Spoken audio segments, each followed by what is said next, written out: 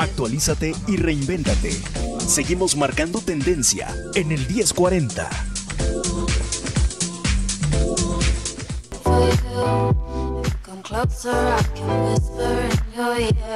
And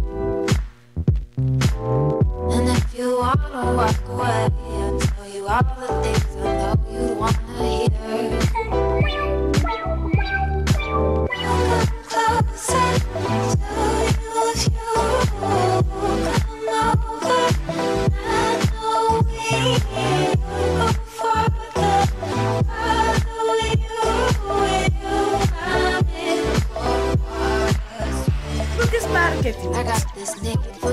Estamos contigo en tu mundo, mujer. Gracias por compartir este día. Y hoy con nosotros está, obviamente, el maestro Rodrigo Chanampe y vamos a platicar de este tema que es una película, La Torre Oscura. Así es. Bienvenido, ¿cómo estás? ¿Qué tal, Mónica? Buenos días. Buenos días Gracias. A todos. Eh, sí, vamos a hablar de La Torre Oscura, es el estreno de la semana, digamos, comercialmente. Es dirigida por un director danés que se llama Nicolás, el apellido es Arcel. Lo que más, eh, lo más famoso por lo que se le puede conocer es por ser el guionista de esta serie de películas, de la primera película de las chicas, eh, los hombres que no amaban a las mujeres, de esta serie de Millennium, de esta trilogía que se hizo del escritor sueco Stig Larsson.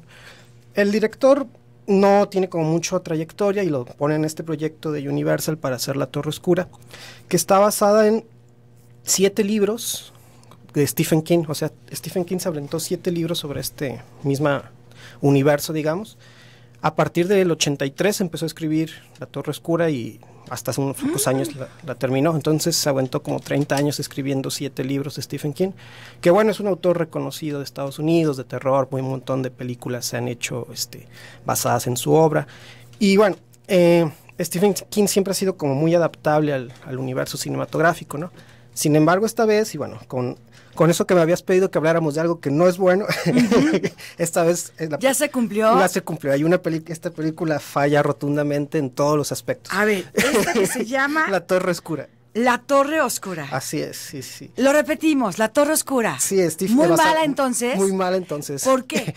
¿Por qué? Porque, eh, bueno, son buenos actores los, con los que cuenta. Es una lástima también. Es Los dos actores principales son Idris Elba y Matthew McConaughey, Matthew McConaughey, la gente yo creo que lo ubica un poco más, es por, lo vio en, El Lobo de Wall Street, lo vio en el desahuciado club de los de, de Dallas, que estaba como era un sidoso, representaba un sidoso. Bueno, Matthew McConaughey lo hemos visto en diferentes antes era como un galán más de Hollywood, pero fue evolucionando hasta convertirse en un gran actor en una muy en una serie muy importante de HBO True Detective ahí despliega un gran rango actoral. O sea, lo vimos también en El Lobo de Wall Street. Sí, en El Lobo de Wall Street. Esa es buena película. Esa es muy ¿eh? buena película. Hay una escena con, con, Leonardo DiCaprio en donde ambos están cantando y se tocan el pecho.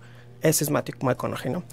Eh, bueno, más allá de que los actores sean buenos, la película no logra que estos mismos actores den un rango actoral importante porque sus papeles son como muy planos. La película trata, la sinopsis es hay una torre oscura que defiende al universo de las fuerzas este, del mal, como demonios que quieren acechar a nuestro universo y destruirlo. Eh, un pistolero, que es el personaje de Idris Elba, es el que se encarga de perseguir a Matthew McConaughey, que es el villano de este, que quiere destruir casi a toda la humanidad y a todos los universos.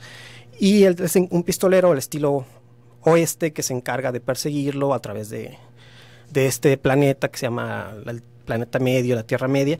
Y bueno, a través de ahí trata de evitar que él destruya a la humanidad, ¿no? Para destruir a la humanidad y para destruir a todo el universo, este, el personaje Matthew McConaughey se basa en un poder de niños especiales que a través de la mente de niños especiales puede destruir esta torre oscura que es lo que nos mantiene alejada las fuerzas oscuras del universo, ¿no? A ver, tiene un poder de niños especiales. Sí, o sea, quiere que con los niños especiales, con el poder de los niños, digamos, de la Tierra, de otros lados, a través de las mentes de estos niños, quitarles como cierta energía y mandar un rayo para destruir a la torre que sostiene eh, alejados o que mantiene alejados a las fuerzas oscuras de de, eh, digamos que es algo sí loco y es como ficción. Sí, es fantasía, fantasía y aventura. Fantasía en muchas películas también se da, ¿no? Sí, claro. Cuando se fumaron. Exacto, la trama no, o sea, contándola así, la trama no es como argumentalmente muy lógica, ¿no?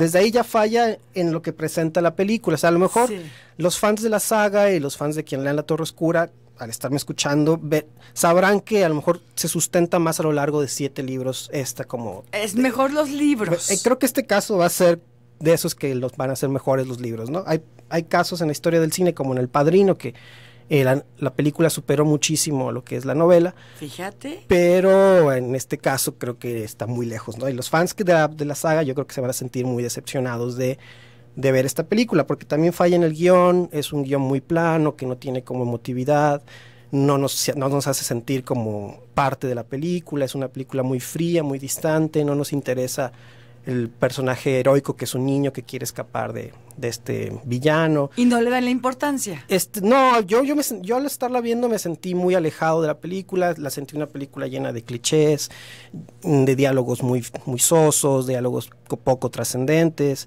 Eh, al final la película también, el, el desenlace también es muy plano, es, corre muy rápido, a pesar, se nos hace lenta, pero son pocos minutos para desarrollar una trama tan compleja de, de siete libros se plantea como un posible segunda parte, pero no creo que la taquilla ni los resultados de la crítica eh, le den a Universal como para pensar en hacer una segunda parte. Y Maestro Rodrigo, tú que eres un crítico del cine, ¿qué observaste en la gente que estaba en la sala? Eh, lo que más, la película tiene toques de humor. Ajá. En algún momento y la gente como que eh, condescendía con estas bromas y bueno, se reía porque trataba de encontrar algo en la película. Creo que lo que más se encuentra en la película y lo que más puede funcionar es por algún momento las bromas, ¿no?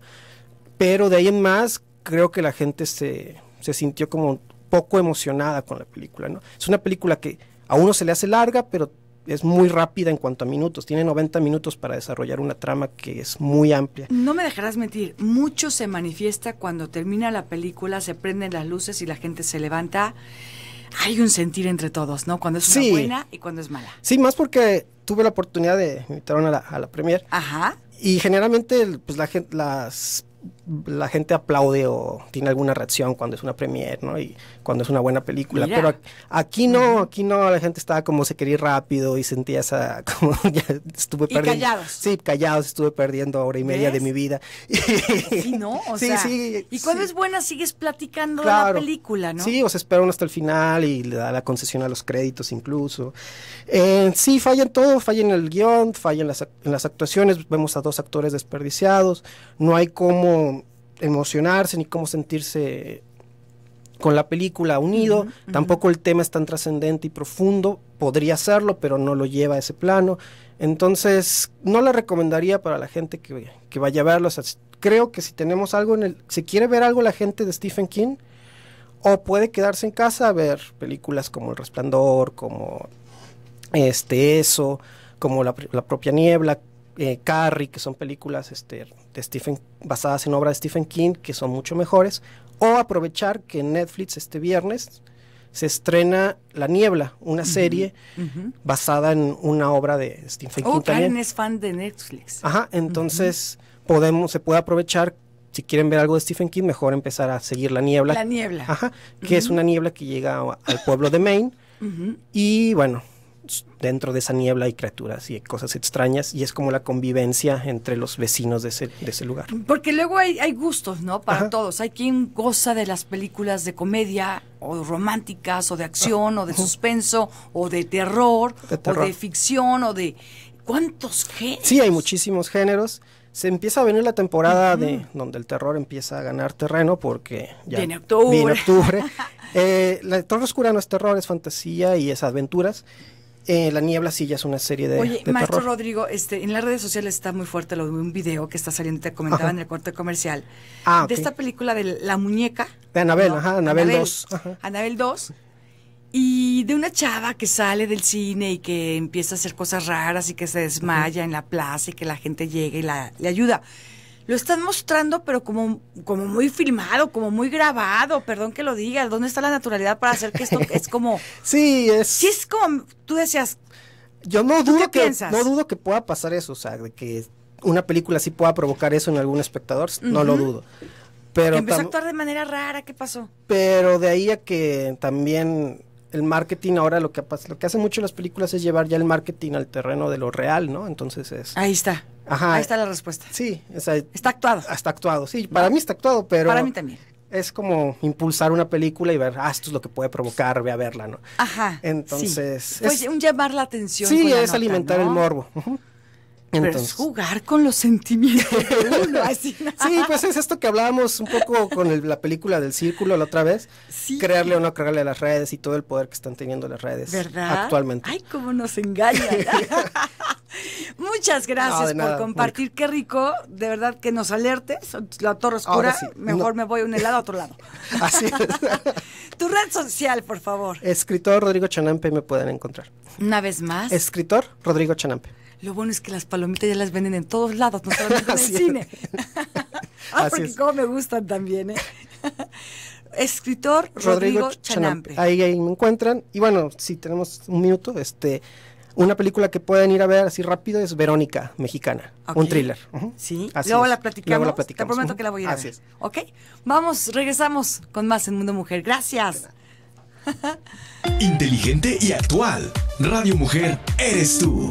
Comunícate al 3122 1190 y 3647 1883.